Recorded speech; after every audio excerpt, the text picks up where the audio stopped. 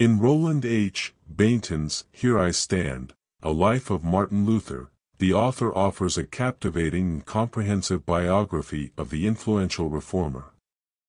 Through meticulous research and engaging storytelling, Bainton delves into the life, ideas, and impact of Martin Luther, painting a vivid picture of the man who sparked the Protestant Reformation.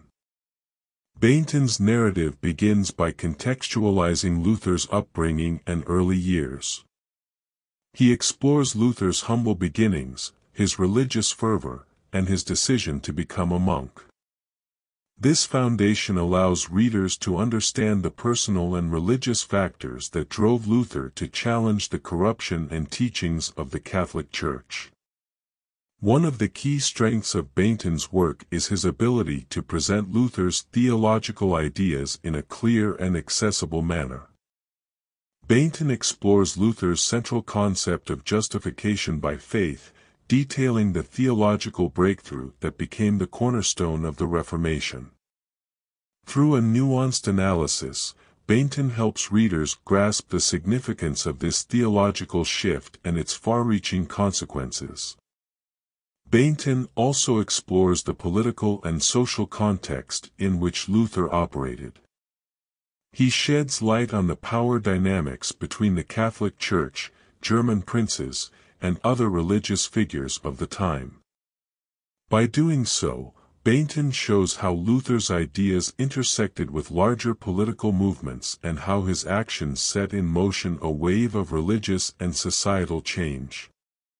In addition to delving into Luther's ideas and their impact, Bainton provides a rich portrayal of Luther as a person.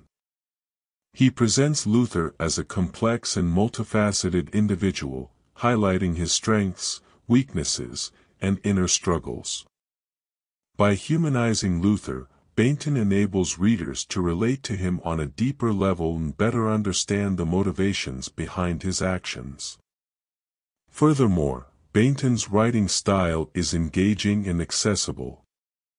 He weaves together historical facts, personal anecdotes, and direct quotes from Luther's writings, creating a narrative that is both informative and captivating. Bainton's prose is both scholarly and approachable, making Here I Stand a valuable resource for both academics and general readers interested in the life of Martin Luther. While Bainton's biography is undoubtedly comprehensive, it occasionally lacks critical analysis of Luther's actions and ideas. Bainton presents Luther as a heroic figure, largely sidestepping the controversies and complexities surrounding his legacy. This omission can be seen as a missed opportunity to engage in a more nuanced exploration of Luther's flaws and their implications. Overall, here I Stand, A Life of Martin Luther, is a compelling biography that offers a thorough examination of the life and impact of Martin Luther.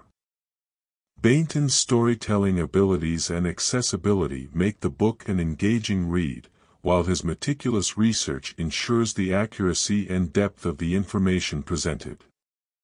Although the biography lacks some critical analysis, it remains a valuable resource for those seeking to understand the man behind the Reformation and the lasting effects of his ideas.